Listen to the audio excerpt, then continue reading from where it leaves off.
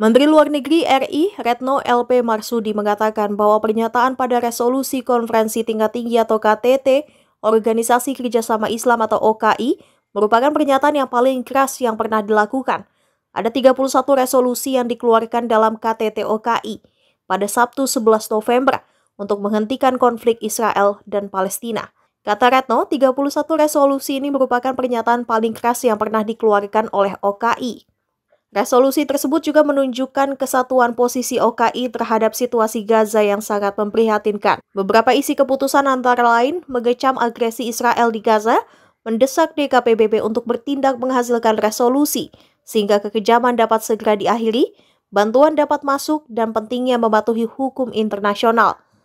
Kemudian mendesak DKPBB untuk melakukan resolusi mengecam perusakan rumah sakit di Gaza oleh Israel. Beberapa fora akan digunakan untuk menuntut pertanggungjawaban Israel, antara lain melalui ICC, ICG, dan Dewan HAM, memberikan mandat kepada Sekretariat OKI dan Liga Arab untuk membuat Joint Media Monitoring Unit yang akan mendokumentasikan semua kejahatan yang dilakukan oleh Israel. Khusus untuk paragraf 11 di dalam resolusi, para leaders memberikan mandat kepada Menteri Luar Negeri Saudi Jordan, Mesir, Qatar, Turki, Indonesia, dan Nigeria untuk memulai action atau memulai tindakan atas nama OKI dan Liga Arab untuk menghentikan perang di Gaza dan memulai proses politik untuk mencapai perdamaian. Paragraf 11 ini merupakan pengakuan dari OKI terhadap keaktifan atau kontribusi aktif Indonesia dalam terus mencoba menyelesaikan masalah Palestina, terutama terakhir-akhir ini adalah situasi di Gaza. Resolusi juga mengecam standar ganda dalam menerapkan hukum internasional.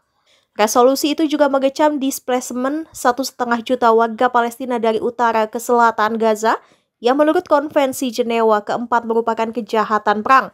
Resolusi mendorong dimulai proses perdamaian yang sungguh-sungguh dan genuine untuk mencapai perdamaian berdasarkan two-state solution.